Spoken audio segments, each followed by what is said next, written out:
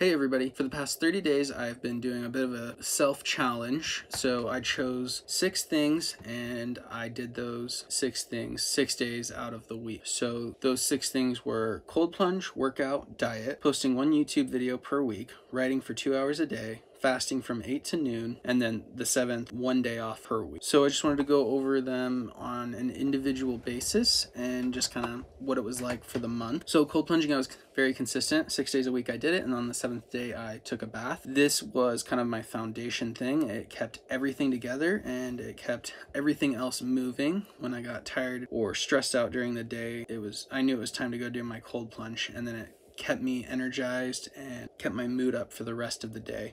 So working out, I did 100 push-ups, 100 squats, 50 leg lifts, and 50 sit-ups. so I was consistent with this one, but there were times where I would wake up in the morning and remember that I only did half of them.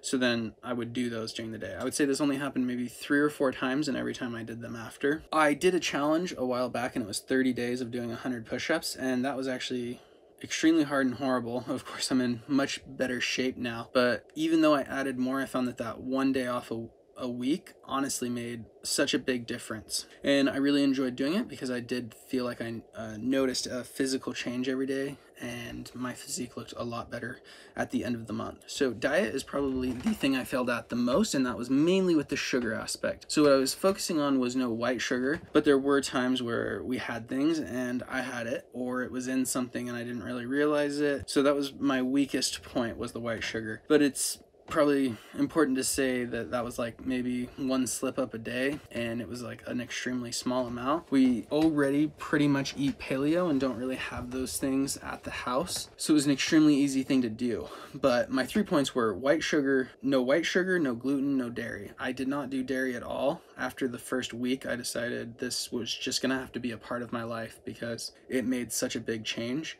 and then no gluten. I didn't, I only had gluten on my cheat days and I didn't notice a difference when I had it. And I would say with the white sugar, I noticed it, but it was nothing like the dairy. So I'm just not going to be eating dairy from now on. That will just be something that I do. One YouTube video per week I was extremely consistent on. I posted every single week for the entire month, every single Tuesday. This got me scheduled and it made me feel good to continue to move forward towards something. I wrote two hours a day.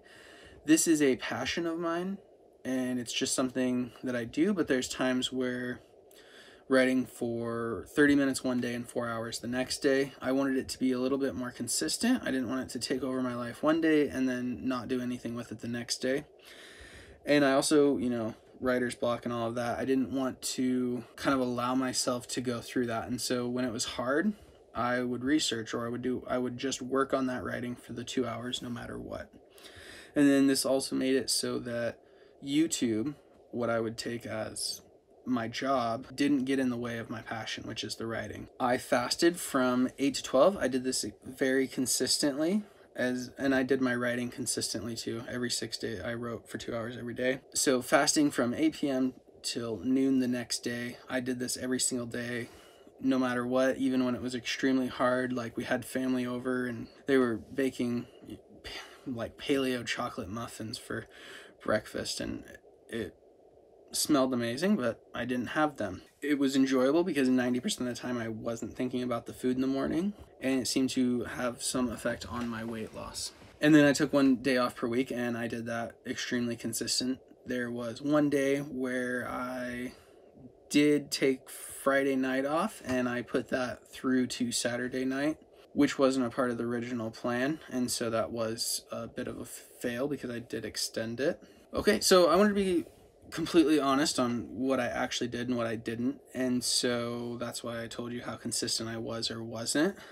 And now I just want to go over maybe like some questions that would help me and maybe someone who was deciding if they wanted to do this. So which one was the easiest to do? That was fasting, and that 95% of the time it was extremely easy. But that's because my family also doesn't eat breakfast. So, like when we had other family over and they were doing things, it was extremely difficult, but that was only a few days out of the month. So, you know, if you don't have those like little treats out and everywhere, it's really, after the first few days, not a very difficult thing to do. The hardest one, and the one I failed at the most, was the diet. And it's because we're already so healthy that it felt like for like maybe like a like small 10% gain it was so much more effort willpower and work when if that just wasn't a part of it i may have even had less because it wasn't something that was always on my mind and that was kind of something I thought about. I did get better at the end of making things with monk fruit and like making ice cream and doing different things. And it was only one part, which was the white sugar that I would say that I failed at the most. So, so, just these small little snacks that still have white sugar in them and still count as a fail. But I would say that it was a 5% fail, but it was still a fail. If I could only keep doing one of these, which one would it be? It would be cold plunging all the way. And that's because it was the foundation for everything else. And I said this, but it kept me extremely consistent in my other things when it was like, this is too much cold plunge and I felt re energized. It didn't allow me to go into any sort of darker place or anything like that. Which one will I stop doing? I will probably stop doing the no sugar and no gluten. And again, that's because we don't really have it here, and so it was not worth the effort to like willpower ratio. I would say that if I was going to maybe do one, it would have been alcohol. I drank a few times and I found that it was much worse for me than eating that sugar or eating that gluten. And so I think I will add something to do with alcohol. Which one was the most beneficial? That was the no dairy. And it's now just going to be a part of my life. I won't be having any dairy anymore. I was already not having everything, but I was still having cheese. And I didn't realize how much that was still affecting me. My fiance has not been having dairy for a long time now. And I finally just decided, you know, it was noticeable like tiredness afterward, moodiness, and kind of like rashy rashes and stuff.